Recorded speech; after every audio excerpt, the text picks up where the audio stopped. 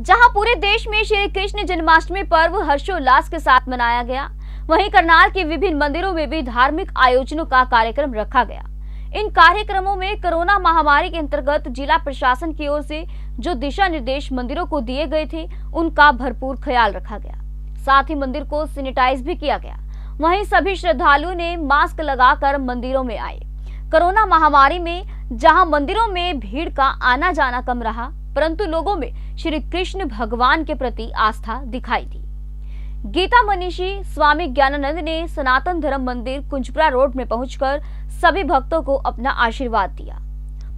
उन्होंने कहा कि श्री कृष्ण जन्माष्टमी महोत्सव एवं श्री कृष्ण का अवतार दिवस देश ही नहीं, पूरे विश्व में हर्षोल्लास के साथ मनाया जा रहा है। जहाँ जहाँ भी भारतीय लोग रहते हैं, वहाँ भगवान श्री कृष्ण जन्मोत्सव को बड़े श्रद्धा भाव के साथ मनाया जाता है। उन्होंने कहा कि कोरोना महामारी के अंतर्गत विभिन्न प्रकार की सावधानियों के बीच श्रद्धालुओं में भगवान श्री कृष्ण के प्रति आस्था कम नहीं हुई है। उन्होंने कहा कि हमें श्री कृष्ण के जीवन से यह संदेश धारण करना चाहिए कि हम आपस में वैर विरोध मिटाकर भाईचारे के साथ रहें। उन्होंने कहा कि कोरोना महामारी ने देशवासियों को बहुत कुछ नया सीखने का मौका दिया है। परंतु फिर भी देशवासी इस महामारी के समय भी धार्मिक आस्था को अपने अंदर समेटे हुए हैं। वहीं मंदिरों में कोरोना महामारी को लेकर भीड़ कम रही, लेकिन श्रद्धालु में श्री कृष्ण के प्रति पूरी आस्था बनी रही। करनाल से समाचार एक्सप्रेस की रिपोर्ट। विश्व भर में जहाँ जहाँ हमारे भारतीय निवास करते हैं, सभी उल्लास के साथ मनाते हैं। इस बार यद्यपि कोविड का, कोरोना का प्रभाव जो चल रहा है, उसके चलते जो आस्था का एक जनून प्रकट होता है आज के दिन, वो नहीं दिख रहा। तो भी हमें लगता है कि ये भाव आस्था घर घर में व्याप्त है ही। आवश्यकता इस बात की है कि हम सब भगवान कृष्ण के अवतार के उस प्रयोजन को समझें।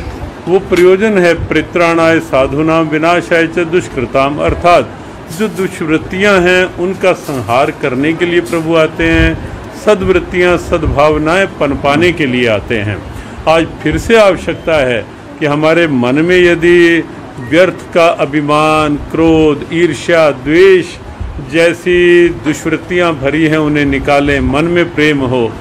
घर घर में जो व्यर्थ की कहीं ना कहीं दुर्भावनाएँ व्याप्त हो जाती हैं, वो दूर करें और घर घर में प्रेम हो, क्योंकि ये अवतार प्रेम का अवतार है, समता, समरसता का अवतार है ये। और सामाजिक समरसता अत्यंत आवश्यक है। बहुत वेदना होती है जब दिखता है कि छोटी छोटी बातों को लेकर कहीं जातिगत संघर्ष, कहीं वर्ग के संघर्ष, कहीं और स्वार्थों को लेकर संघर्ष तो आज के इस अवतार पर हम सब ये शिक्षा लें कि व्यर्थ के इन संघर्षों से ऊपर उठें, समता का वातावरण बने, समरसता का वातावरण बने, और वैसे तो कोरोना ने भी बहुत कुछ सिखाया है, बहुत कुछ दिखाया है, उससे भी हम सीख लें और भगवान से आज के दिन में प्रार्थना भी करें कि हे कालिए विश्व भर में जहाँ जहाँ हमारे भारतीय निवास करते हैं, सभी उल्लास के साथ मनाते हैं। इस बार यद्यपि कोविड का, कोरोना का प्रभाव जो चल रहा है, उसके चलते जो आस्था का एक जनून प्रकट होता है आज के दिन, वो नहीं दिख रहा तो भी हमें लगता है कि ये भाव आस्था घर घर में व्याप्त है ही। आवश्यकता इस बात की है कि हम सब भगवान कृष्ण के अवतार के उस प्रयोजन को समझें। वो प्रयोजन है परित्राणाय साधुनाम विनाशाय च दुष्कृताम अर्थात जो दुष्वृत्तियाँ हैं, उनका संहार करने के लिए प्रभु आते हैं, सदवृत्तियाँ, सद्भावनाएँ पनपाने के लिए आते हैं। आज फिर से आवश्यकता है कि हमारे मन में यदि व्यर्थ का अभिमान, क्रोध, ईर्ष्या, द्वेष जैसी दुष्वृत्तियाँ भरी हैं, उन्हें निकालें। मन में प्रेम हो। घर घर में जो व्यर्थ की कहीं ना कहीं दुर्भावनाएँ व्याप्त हो जाती हैं, वो दूर करें और घर घर में प्रेम हो, क्योंकि ये अवतार प्रेम का अवतार है, समता समरसता का अवतार है ये, और सामाजिक समरसता अत्यंत आवश्यक है।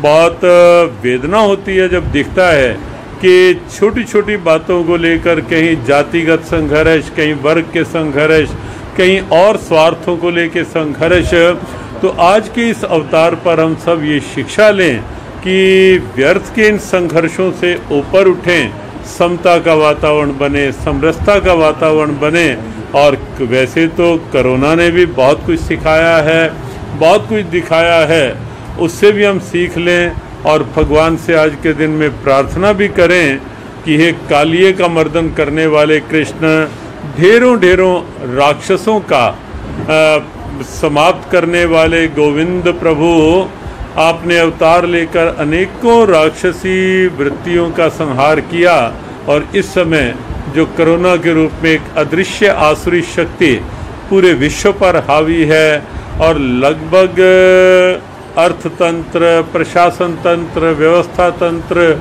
और हमारी धार्मिक आस्था तंत्र को भी कहीं ना कहीं इस कोरोना ने प्रभावित किया है।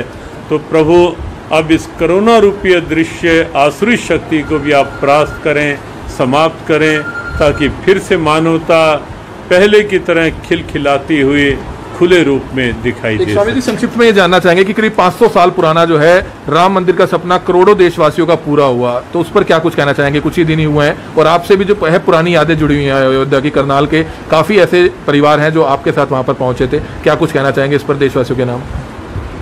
वस्तुतः अयोध्या अनेक बार जाना हुआ तब भी जाना हुआ था जब यहाँ घर घर में और गाँव गाँव में शिला पूजन हुए थे। और उसके पश्चात भी कुछ बार जाना हुआ, लेकिन इस बार का जाना एक अलग से गौरव की अनुभूति करवा रहा था, एक अलग से हर्ष और आनंद की अनुभूति करवा रहा था, क्योंकि एक अनुभूति अयोध्या वासियों को तब थी, जब प्रभु राम चौदह वर्ष का वनवास पूरा करके अयोध्या आए थे। और एक अनुभूति अयोध्या के साथ साथ पूरे विश्व में रहने वाले जो भारतीय आस्थावान हैं, एक अनुभूति इस समय उन्हें हुई, क्योंकि प्रभु कहीं ना कहीं अब भी वनवास किसी स्थिति में थे। त्रिपाल की चद्दर, टीन की चद्दर उसमें तो लगता था जाकर कि सब लोग अच्छी अच्छी कोठियों में रह ऐसे ही लेटेस्ट खबरें पाने के लिए बेल आइकन को क्लिक कर, हमारे चैनल को लाइक शेयर एंड सब्सक्राइब करें। धन्यवाद।